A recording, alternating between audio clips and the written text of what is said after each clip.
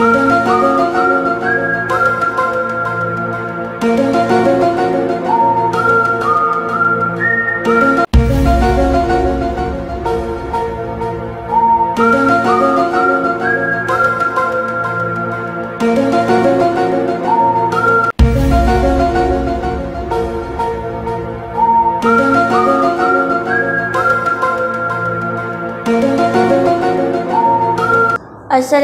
alaikum. Second year botany में आज हम न्यू चैप्टर स्टार्ट करेंगे सेल साइकिल सेल साइकिल किसे कहते हैं? कि सीरीज़ ऑफ़ इवेंट्स हैं जिसके अंदर सेल्स अपने साइज़ को इंक्रीज़ करेगा, उसके बाद डिवाइड करेगा.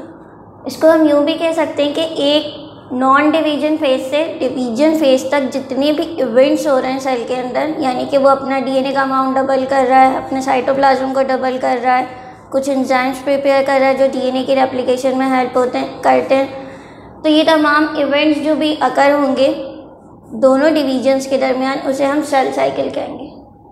सेल साइकिल्स में टू पीरियड्स हैं लाइफ साइकिल में इसकी एक इंटरफेज है, एक डिवीज़न फ़ेज़ है। इंटरफेज क्या है? नॉन डिवीज़न फ़ेज़ है। इसका मतलब ये नहीं है कि सेल जो है वो रेस्टिंग स्टेज में चला जाएगा।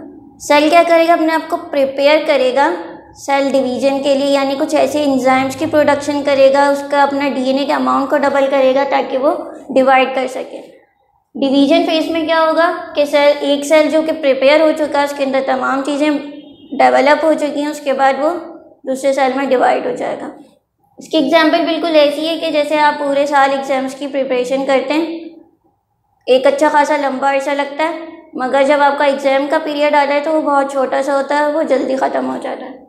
इसी तरह जो इंटरफेज़ है, ये बहुत लंबे अरसे तक चलेगा, जबकि डिवीज़न फ़ेज़ है, ये कुछ ही टाइम में ख़त्म हो जाएगा सेल को डिवाइड करके।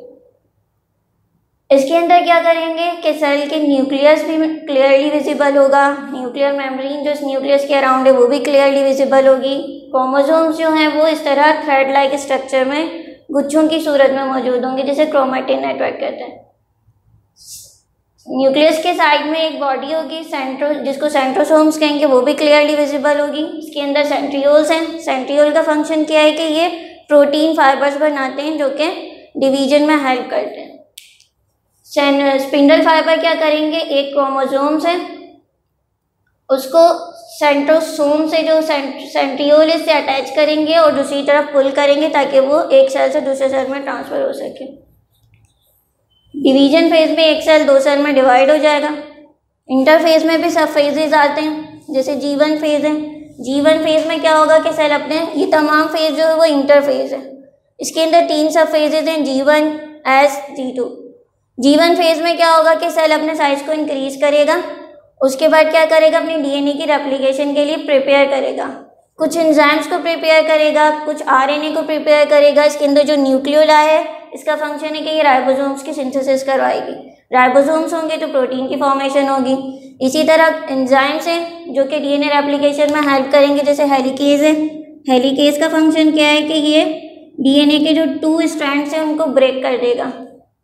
पोलीमरेज को सिंथेसाइज करेगा। और लाइगेज को। ये इंजाइम्स क्या करेंगे? रेप्लिकेशन में हेल्प करेंगे। इनके अंदर जो न्यूक्लियोटाइड्स हैं, उनको जमा करवाएँगे और टू स्ट्रैंड्स को कंबाइन करवा देंगे। अब ये वाला फ़ेज़ क्या हो गया कि सेल ने अपना साइज़ भी इंक्रीज कर लिया। कुछ ऐसे इंजाइम्स की भी प्रोडक्शन कर ली जो कि रेप्लीकेशन यानी डीएनए के अमाउंट को डबल करने के लिए रिक्वायर्ड है, उनको भी सिंथेसाइज कर लिया। अब इसके फ़ौरन ही बाद एस फ़ेज़ यानी कि सिंथेसिस फ़ेज़ स्टार्ट हो जाएगा। सिंथेसिस फ़ेज़ में क्या होगा कि डीएनए रेप्लिकेशन का प्रोसेस होगा। सपोज़ कि ये एक क्रोमोसोम्स था, जिसमें एक क्रोमाटाइड्स है और सेंट्रोमेयर है। अब ये डबल होकर क्या करेगा? अपने दो क्रोमाटाइड्स बना लेगा। यानी यहाँ डीएनए की रेप्लिकेशन होगी। डीएनए का अमाउंट क्या हो गया? डबल हो गया। यानी सिंथेसिस का मतलब डीएनए ने इस इस फ़ेज़ में जो है वो डीएनए का अमाउंट सिंथेसाइज हो गया डबल कर दिया। इसके फ़ौरन बाद जो है वो जी टू फ़ेज़ यानी कि गैप टू फ़ेज़ स्टार्ट हो जाता है। इसके अंदर क्या होगा कि प्रोटीन्स बनेंगी जो स्पिंडल फाइबर में फॉर्मेशन में हेल्प करेंगी। दोनों सेल्स में अलग अलग टाइप्स की प्रोटीन बनेंगी। एनिमल सेल्स में जो है वो सेंट्रोसोम्स बनेंगे, जिसमें सेंट्रियोल होंगे, जैसे इसमें दिखाया गया। इस सेंट्रियोल का फ़ंक्शन क्या है कि यहाँ से ये जो है स्पिंडल फॉर्मेशन की मदद करेंगे। जबकि जो प्लांट बॉडी है, उसके अंदर क्या सेंट्रियोल तो एबसेंट है तो वहाँ पे माइक्रोट्यूब्यूल्स बनेंगे। माइक्रोट्यूब्यूल्स क्या हैं? स्पिंडल फॉर्मेशन बनाए स्पिंडल फॉर्मेशन में हेल्प करेंगे। इन स्पिंडल फॉर्मेशन या स्पिंडल फाइबर का क्या फ़ंक्शन है कि जब डिवीज़न का फ़ेज़ होगा तो ये क्रोमोसोम्स को एक सेल से एक जगह से दूसरी जगह पुल करेंगी, दूसरी तरफ़ खींचेंगी ताकि ये दोनों सेल्स में इक्वली डिवाइड हो जाए। सम टाइम ऐसा होता है, अब जब डी टू फ़ेज़ कंप्लीट हो जाएगा क्रोमोसोम्स एक सेल से दो सेल्स में चले जाएँगे डिवाइड हो जाएँगे तो उसके फ़ौरन बाद माइटोसिस का फ़ेज़ स्टार्ट होता था हमने से पहले भी पढ़ा था माइटोसिस में क्या होता है कि एक सेल से दो सेल्स में कन्वर्ट हो जाते हैं। क्रोमोसोम्स के नंबर जो है वो सेम रहते हैं। तो इस माइटोसिस के फ़ेज़ को या मियोटिक के जो फ़ेज़ है, उसको जो है हम नेक्स्ट लेक्चर में अपने डिस्कस करेंगे। मगर समटाइम क्या होता है कि इन तीनों फेजेस के दौरान एक नया फ़ेज़ डेवलप हो जाता है, जिसे जी नोट फ़ेज़ कहते हैं। जैसे ही एक जी वन फ़ेज़ कंप्लीट होगा तो इसके बाद जी नोट फ़ेज़ स्टार्ट हो जाएगा। जी नोट फ़ेज़ में क्या होगा कि सेल मेटाबॉलिकली एक्टिव है, यानी कि अपने तमाम काम कर रहा है, मगर वो डिवाइड नहीं कर रहा। डिवाइड क्यों नहीं कर रहा वो? क्योंकि उसके पास जो है वो न्यूट्रिएंट की जो डेफिशिएंसी है वो हो गई है। जब न्यूट्रिएंट अवेलेबल ही नहीं होंगे तो डिवीज़न का प्रोसेस नहीं होगा। तो जब इन्वायरमेंटल कंडीशन दोबारा से फेवरेबल होंगी, दोबारा से उसको न्यूट्रिएंट्स वगैरह मिलना शुरू हो जाएँगे तो सेल क्या करेगा? दोबारा से एस फ़ेज़ में चला जाएगा जी नोट के बाद। तो ये चार फेजेस हमने पढ़े हैं जी वन फ़ेज़ यानी कि गैप वन फ़ेज़ जिसके अंदर सेल क्या करेगा? अपने साइज़ को इंक्रीज करेगा। डीएनए रेप्लिकेशन में जो इंजाइम्स चाहिए उसको, जैसे कि हेलिकेज है प्रोलीमरेज है लाइगेज है इन सब की सिंथेसिस करवाएगा। राइबोसोम्स की सिंथेसिस कराएगा डीएनए के डबल स्ट्रैंड है, इसको अनवाइंड कर देगा। अनवाइंड करेगा तो यहाँ से आरएनए बन जाएगा। आरएनए बन जाएगा तो हर आरएनए दोबारा से डीएनए बना देगा। एस फ़ेज़ यानी कि सिंथेसिस फ़ेज़ इसके फ़ौरन बाद सिंथेसिस फ़ेज़ स्टार्ट हो जाएगा, जिसमें डीएनए की रेप्लिकेशन होगी डीएनए के स्ट्रैंड्स डबल होंगे। इसका अमाउंट डबल हो जाएगा जैसे कि ये हाफ़ था सिंगल था इसने अपना अमाउंट क्या करा? डबल कर लिया। इसी तरह इसके फ़ौरन बाद जो है वो जी टू फ़ेज़ स्टार्ट हो जाएगा। जी टू फ़ेज़ में स्पिंडल फॉर्मेशन होगी ताकि ये क्रोमोसोम्स को जो है वो एक फा, प्रोटीन फाइबर्स बना लेंगे ताकि एक सेल से दूसरे सेल में क्रोमोसोम्स को खींच के ट्रांसफ़र कर सकें।